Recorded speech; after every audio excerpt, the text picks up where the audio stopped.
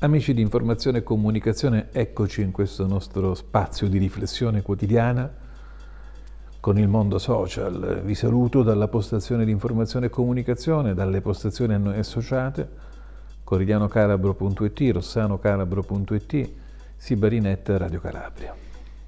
Allora, oggi ne avevamo già parlato in un precedente appuntamento, però eh, c'è l'evolversi eh, delle dinamiche nazionali eh, un po' confermano quello che è lo spirito eh, del, di quelle che sono delle riflessioni rispetto alle necessità che richiedono una certa impellenza. Allora, non più di qualche tempo fa ebbi modo di dire che l'attuale sistema elettorale, che presenta per due terzi un sistema proporzionale, determina instabilità di governo. E dicevo anche che per la tipologia eh, tendenziale dell'italiano medio, confrontandomi con quelli che sono le, i reati più riscontrati nell'ultimo ventennio della nostra Repubblica, vediamo che appare la corruzione, il malcostume. E quindi abbiamo un'attitudine a delinquere. Chiarito questo, dicevo anche che eh, in un sistema del genere, e ammettevo senza alcuna difficoltà la mia simpatia per un sistema proporzionale puro, tanto per intenderci, ma un sistema proporzionale puro può essere calato in una società in cui si respira l'aria del senso civico, dell'educazione civica. Ma in una realtà in cui al primo posto, tra i primi posti abbiamo la corruzione, noi un sistema elettorale con quote proporzionali non possiamo permettercelo, perché il proporzionale alimenta i livelli di contrattazione e di mediazione. E tra soggetti o in una realtà in cui è prevalente questa indole di agire per interessi personali, per la gestione di un potere, è evidente che è un sistema che non può essere modellato in una società contaminata. E allora parlavo di un modello praticabile che può essere sicuramente quello, ad esempio, della elezione diretta dei sindaci, che comunque conserva una minima parte, diciamo, di quota proporzionale, garantisce una presenza eh, delle minoranze, ma scatta un premio di maggioranza e si garantisce anche una stabilità di governo, che è il nocciolo della questione.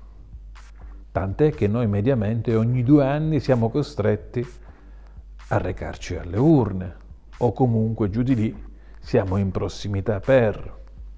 Ma dicevo, eh, un po' tutti i leader nazionali, vogliono l'instabilità di governo. Con un sistema proporzionale ciascun leader nazionale ha un potere contrattuale, ha una carta da giocarsi per elevare il costo della contrattazione. Anche con l'1, 2, 3% addirittura in Italia si diventa determinante e si fanno cadere persino dei governi. Ma vi sembra democratico un sistema del genere? Oggi c'è la cozzaglia. Mettiamoli alla prova. Oggi abbiamo un governo delle larghe intese, diremmo. No? C'è, a parte Fratelli d'Italia che si asterrà su alcuni punti, abbiamo una larga maggioranza. Allora, se questo governo e il capo dello Stato deve, deve poiché ha voluto questo governo, noi personalmente rimarrò in attesa di capire quali saranno i... Pro- Io solitamente con i governi tecnici sono molto prudente perché di tecnico ci vedo ben poco. Per me un vero tecnico è colui il quale riesce a trovare una soluzione dei problemi senza dover ricorrere ai tagli alla spesa pubblica, perché è chiaro che eh, se noi tamponiamo tagliando, non ci vuole un gran tecnico uscito dalla Bocconi per tagliare, eh, non mi sia consentito, lo dico con il massimo rispetto nei confronti di chi sa, di chi studia e di chi magari ha, ha lavorato molto nel mondo delle finanze e della spesa pubblica, su questo non c'è dubbio. Ma contano i fatti, quelli concreti, non i titoli. E allora mi chiedo e vi chiedo se oggi non sia opportuno dover andare nella direzione, perché è inutile andare alle urne e riproporci con lo stesso sistema elettorale, perché nessuno avrà mai quei numeri tali da poter garantire una stabilità di governo.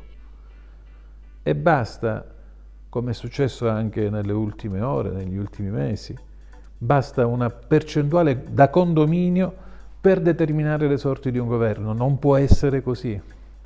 Allora noi, per quanto mi riguarda, dico che un governo responsabile dovrebbe anteporre in agenda come primo punto la riforma del sistema elettorale e guardare allo stato attuale ad un sistema maggioritario che garantisca la, la stabilità di governo, considerato che ad oggi ogni due anni siamo di fronte ad una crisi. Parlano i fatti, parla la storia. Il passato e il presente deve servirci almeno a saper disegnare il futuro. Se non siamo capaci neanche in questo, vuol dire che dovremmo forse rimetterci come classe politica dalla società civile. Grazie, alla prossima.